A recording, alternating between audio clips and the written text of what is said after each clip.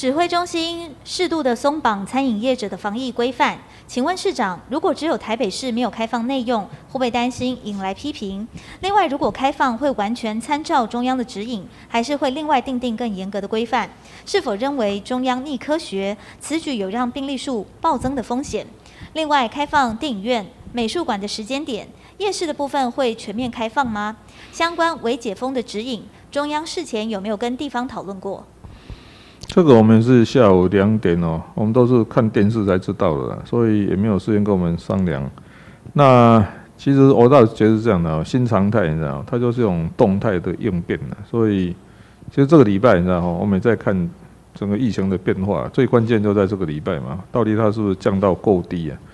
那另外一点是这样的哦，这个解封也不会说一下突然解封了，还是会按照程度了。那 还是如果按照科学来讲哦。